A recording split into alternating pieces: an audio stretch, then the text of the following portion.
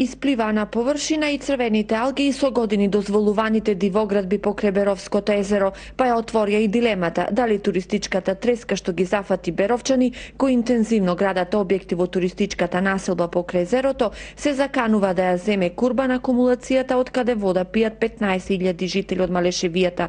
Обштината води постапка за легализација на дивоградбите околу езерото, обвинува дека Министерството за екологија година и пол врши обструкција на деталниот урбанистички план за оваа населба и не сака да даде зелено светло за да можат да се легализираат над 50 вили и хотели. Признава дека за дел од нив нема колекторски систем, се користат септички јами.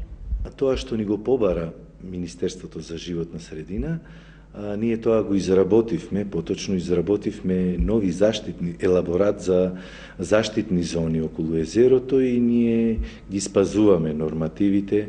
Изградбата на објекти во заштитната зона на езерото со години се толерира, велат екологистите. Градбите што тамо се прават се дивоградби, кои што некој дел од нив влегуваат дури и во првите заштитни зони каде што не треба воопшто да има такви објекти. Беровското езеро и оваа зима испраќа аларм. Црвените алги повторно се вратија. Тие не влегуваат, не доаѓаат во а, базените на фабриката за пречистување на вода за пиење кон граѓаните ни не представуваат опасност. Пред две години успеавме на маса, на тркалезна маса да ги собереме сите релевантни фактори кои требаше да дебатираат и да донесат заклучоци што треба да се преземе околу таа појава во езерото.